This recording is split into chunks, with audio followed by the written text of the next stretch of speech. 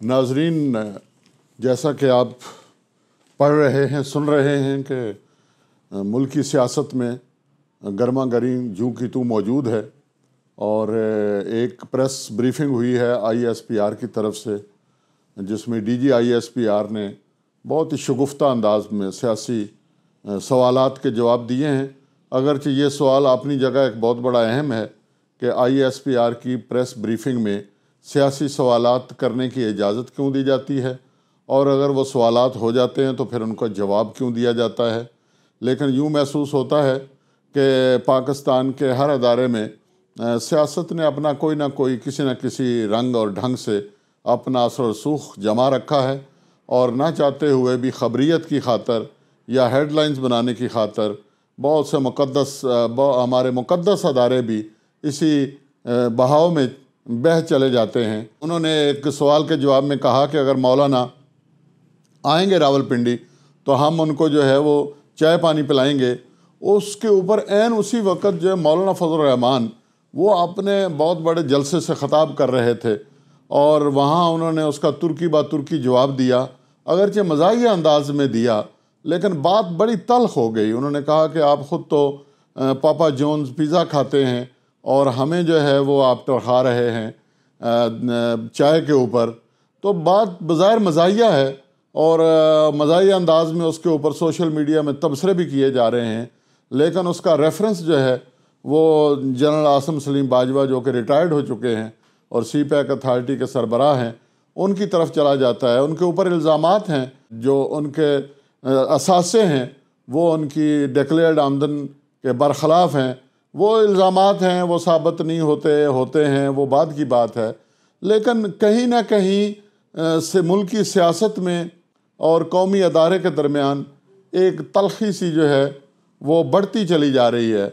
और मौलाना फजलरहमान ने यहाँ तक कह दिया है कि पिंडी वालों को ये बात क्लियर करनी होगी कि वो इस नाजायज़, बकौल उनके इस नाजायज़ हुकूमत के साथ हैं या न्यूट्रल हैं।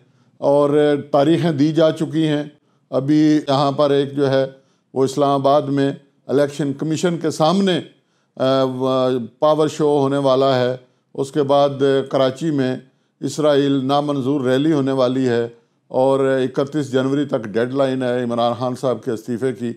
उसके बाद पीडीएम की जमातें अभी तक तो अपने मौक़ पर कायम हैं और बल्कि उन्होंने बहुत बर वक्त फ़ैसला करके जहाँ वो इस गेम से आउट होने जा रहे थे। उन्होंने फ़ौर जो है वो रिंग में वापस आ गए हैं और उन्होंने इलेक्शन जो सेनेट का है वो लड़ने का ऐलान कर दिया है। और ये भी कह दिया है कि कौमी, अपना जो ज़मनी इलेक्शंस हैं, उनसे भी वो मैदान खाली नहीं छोड़ेंगे। तो लेकिन टकराव की सूरत हाल जो है, वो शायद करीब आ रही है।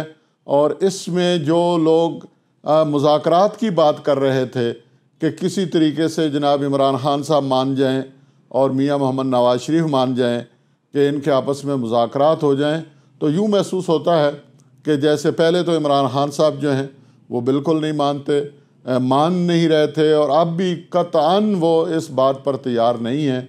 सुना है कि नवाज़ शरीफ का नाम आते ही उनके तन बदन को आग लग जाती है और अब मियाँ साहब जो हैं, उन्होंने भी, वो भी खम ठोंक कर खड़े हो गए हैं कि जो भी हो जाए उन्होंने अपनी कश्तियाँ जला दी हैं और वो इस हकूमत को चलता करेंगे। यही ज़ुबान मौलाना फजलरहमान साहब बोल रहे हैं यही लहजा जनाब बिलावल भुट्टो का है और बाकी मुस्लिम लीग नून के लोग जो हैं वो भी इसी तरह सोच रहे हैं।